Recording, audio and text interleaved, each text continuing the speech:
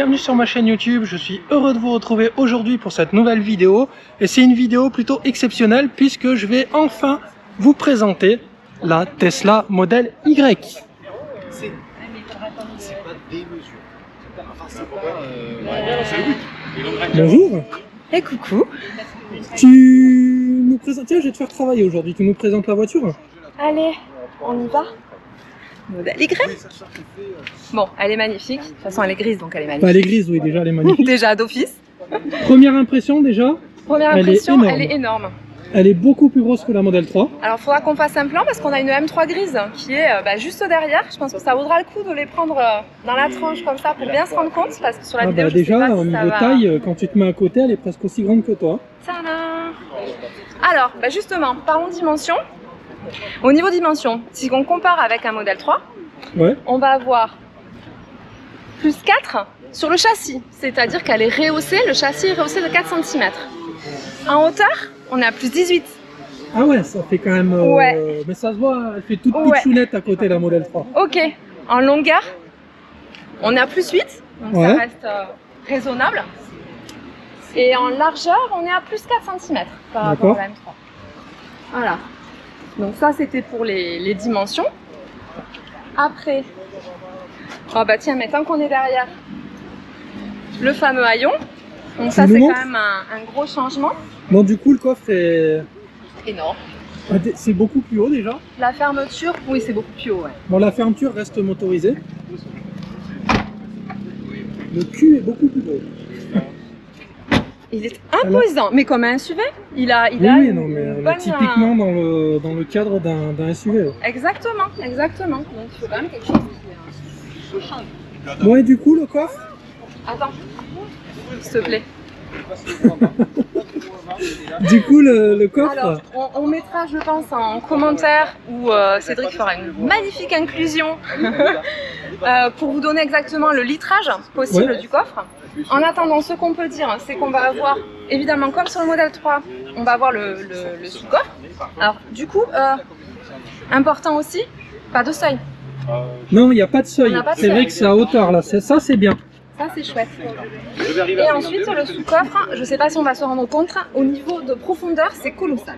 Oui, il est beaucoup plus profond bah, du fait de la hauteur de la voiture. Exactement. Alors, il y a un petit truc que j'avais pas vu, mais regarde. T'as une encoche pour le laisser ouvert. Ah oui. Ah ça c'est c'est Ça, c'est sympa. une bonne idée, ouais. Ah, c'est sympa. Alors, alors voilà pour le premier et on a la petite option sympathique, c'est-à-dire que ici on va retrouver ah, si j'arrive à Si ouvrir. t'arrives à l'ouvrir. Mais c'est pareil, je crois qu'on arrive à le coincer ouvert. Bon, j'y arrive pas moi, mais euh, je l'ai vu faire déjà. Je sais pas si on se rend bien compte. Voilà, on a là de nouveau encore une petite partie rangement, alors qu'elle est beaucoup moins profonde évidemment, mais bon, ça a le mérite d'exister. Ouais, mais ça, ça, ça peut être bien pour les câbles, justement. Ouais. Ouais, c'est un peu, c'est un peu loin quand même. Ouais, mais bon. On se rend pas compte, mais c'est profond. Bon, du coup, en grosse nouveauté, c'est qu'il y a, on a un haillon en fait. Il y a pas, le coffre est complet. Le coffre est complet, effectivement. Du coup, on peut empiler comparé à la Model 3. Exactement. Et donc, donc la petite nouveauté, c'est que les sièges donc sont totalement rabattables pour avoir un, un plancher ben, plat. Ouais. Euh, on peut le faire directement sur les sièges, évidemment. Il y a des petites encoches. Sinon, il y a la version rapide. Je vais appuyer là et Ah, c'était, j'avais même pas vu. ça se fait tout terrible. seul. Mais c'est trop bien en vrai. Voilà, voilà. Donc en deux tiers, un tiers. Ok, donc là on se retrouve avec euh, euh, bah, toujours pareil, hein, nos trois places, euh, nos trois places à l'arrière. Euh, moi, je- Les impressions par rapport à la Model On 3 est plus assis. bah, Du fait de la hauteur de, de fait la de la voiture. hauteur, on est plus assis. Voilà, on a vraiment, euh, on est moins allongé, on est plus assis. Alors, la petite Ouais. touche, euh, on peut régler l'inclinaison. Bon, il y a deux positions, hein, c'est pas. De la banquette? Là, là, ouais. Et pareil, en deux tiers, un tiers. On a deux positions de réglage justement, une très assise et une un peu plus allongée. Voilà. D'accord. Donc ça c'est plutôt plutôt sympa. Et alors le truc qui vraiment, moi je trouve ça génial, c'est ce ciel de toit. Ah, il est d'un seul bloc, il n'y a plus le, le bloc du milieu en fait. Alors il n'y a plus le montant au milieu, il a été reculé pour le mettre au, au niveau du haillon, de l'entrée du haillon. Mais du coup, c'est un vrai ciel de toit complet, ça c'est un vrai idée. ciel de toit complet et je, je pense que ça doit être génial pour, euh, pour notamment pour les passages à l'arrière. Déjà, c'était super sympa sur la M3, mais là, à mon avis, euh, au niveau de l'impression, ça va être topissime. Tu nous montres la position. Ah, on va regarder le frunk d'abord avant de monter dedans. regarder le frunk. Alors, on te posait des questions. Il y a des abonnés qui nous posaient des questions. On doit savoir si les vitres arrière étaient teintées. Alors, on va le faire. C'est le cas Alors, la question précise, c'était de savoir si le teintage des vitres à l'arrière et de la vitre du coffre Ouais. permettait de masquer ce qu'il y a à l'intérieur du coffre. Parce que vous avez remarqué, il n'y a pas de planche de bord. Non. Voilà. Alors, à première vue, là, on est en extérieur. Il fait très beau. Donc, si on doit voir quelque chose, on va le voir. Oui, alors elles sont teintées euh, à l'arrière, on voit un petit peu. Par contre, sur le, sur le coffre, c'est mieux fait. Effectivement, euh, Franchement, ouais, voilà. non, là, faut y aller, faut y aller pour voir ce qu'il y a dans le coffre. clairement, à quelques mètres de distance, on ne voit rien. Il faut vraiment, voilà, aller venir se mettre euh, comme ça pour voir ce qu'il y a dans le coffre. Donc oui, c'est très bien fait. Donc question 1, ça c'est bon. Et on te posait quoi comme autre question? Alors l'autre question, c'est est-ce que les vitres avant ont un double vitrage Ben Oui, c'est bien le cas, comme vous voyez. Ouais. Pas de problème là-dessus. Euh, Qu'est-ce qu'on avait encore comme question Ah oui, on te demandait pourquoi euh, ça là sur le frunk, l'espèce de. On a un joint supplémentaire. Ouais.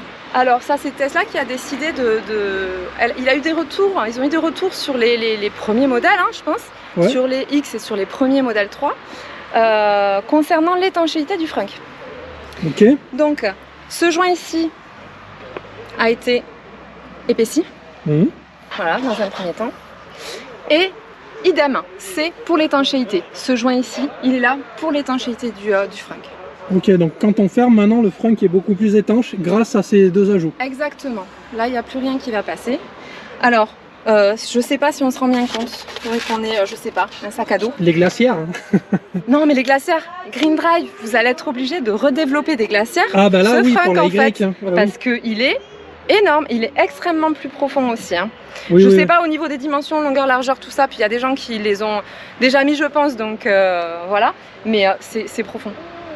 C'est profond, c'est profond. Alors petite nouveauté aussi, c'est plus des vérins pour le frunk, c'est un système de coulisses. Donc pareil, hein, on pourra plus mettre les vérins pour euh, l'ouverture euh, semi-automatique. Mais pareil, hein, il y a encore un développement à faire. Mais je pense qu'ils sont prêts chez Green Drive. Tu nous montres le poste de conduite? Allez.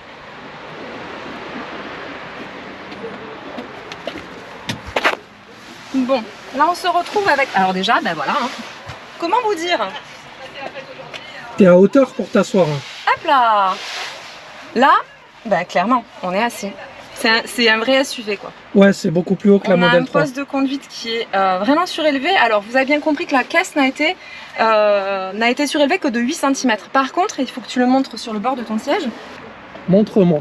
Alors, en plus de la rehausse donc de 8 cm de la caisse de la voiture, vous avez en plus, le, le siège a été posé en plus sur, sur une rehausse supplémentaire. Donc on a vraiment, vraiment cette impression d'être au-dessus de la route. Quoi. Comme, Ah dans, comme un SUV, voilà, ils ont bien réussi pour ça. Pas Vas-y, assis-toi pour montrer l'impression de... Ouais, on est vachement... Là, beaucoup plus haut. on est assis. C'est vrai que nous, dans les, dans les M3, on est un peu plus, je ne veux pas dire plus, allongé, mais plus, plus un- ouais, mais si, mais un peu plus allongé. Ouais. Et là, clairement, on a un poste de conduite qui est assis. Alors après, au niveau intérieur, que les choses soient claires, c'est un modèle 3. Ça vous Ah oui, oui, changera pas. même. Alors, on nous a demandé aussi comme question pour euh, si c'était le même principe pour l'ouverture du frunk. Oui, c'est le même principe. Tout est identique. Tout est là-dessus, voilà. C'est avec l'appli ou à partir du, euh, à partir ici de l'afficheur. Euh, c'est la même chose. Pour ça, c'est la même chose. On a des les nouvelles jantes aussi. hein. Faut voir si c'est Ah celle d'origine, hein, si c'est celle dessus. Oui, oui, c'est celle d'origine. Enfin, en tout cas... euh, En tout cas, c'est sympa. Moi, j'aime bien le design. Tu nous montres la hauteur de la modèle Y par rapport à la modèle 3 C'est-à-dire. Mets-toi à côté de la Y. Non, mais ouais, si tu veux. Vas-y, va à côté de la 3 maintenant. Elle est tout pitchounette à côté. Regarde, ça fait bizarre. J'ai l'impression d'avoir une petite titine maintenant. Ah ouais, elle est énorme. hein. Clairement, elle est beaucoup plus, plus imposante, je trouve, d'aspect en tout cas. elle a un look, euh, elle a un bon look de SUV, un peu plus agressif, un peu moins berline, un peu plus agressif. Mais ça lui va bien. En tout cas, belle voiture. Belle découverte. Et à ce propos, on voulait remercier chaleureusement à la fois l'équipe du Tesla Center de Toulouse qui nous a reçus en avant-première et qui s'est décarcassé pour que, pour que ça puisse avoir lieu aujourd'hui. Et qui ont fait des efforts pour qu'on puisse la filmer. euh, C'était pas gagné au début, mais ils ont fait tout ce qu'il fallait. Comme d'hab, ils sont toujours euh, ultra euh, conciliants. Ils font toujours tout ce qu'il faut. Franchement, je pense que c'est un des meilleurs euh, Tesla Center. hein. Franchement, oui. Bah, écoute, on n'a jamais rien à leur reprocher. Non, enfin en tout cas, ouais, Nous, on est satisfaits on est cas. très contents.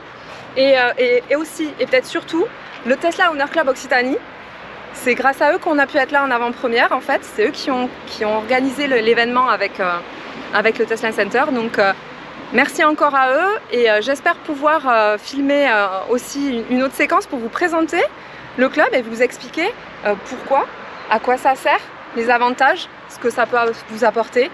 Voilà. Mais donc en attendant, on était vraiment super contents d'être là ce soir et puis de la voir en vrai parce que nous aussi on a vu les vidéos, on a vu les vidéos de Charles, on a vu à Lille, on a vu plein de vidéos et on avait très très envie nous aussi de voir ce fameux modèle Y.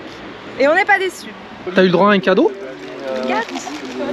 Mais ils sont, ils sont trop gentils. Mais ouais, mais c'est Oui, super gentil. Bah, bien Hein sûr. Bah. Merci qui Merci Tesla. Et le Tesla Owner Club. Voilà. Et merci là pour le coup, merci euh, Tesla Center Oui, de, Toulouse. Ah bah évidemment. Ouais, Euh, oui, par contre, ça me fait penser, on n'a pas dit euh, où il est exactement. Donc c'est le Tesla Center de, De Plaisance. Plaisance du Touche.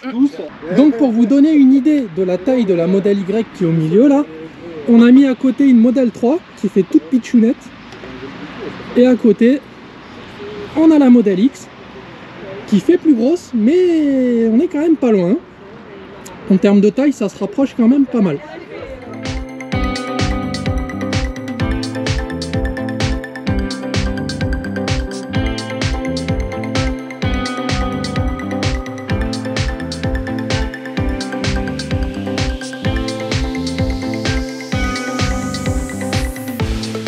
Bon bah alors je crois que là euh, on a toute la gamme. hein. Modèle S, modèle 3, mo- modèle X et la modèle Y.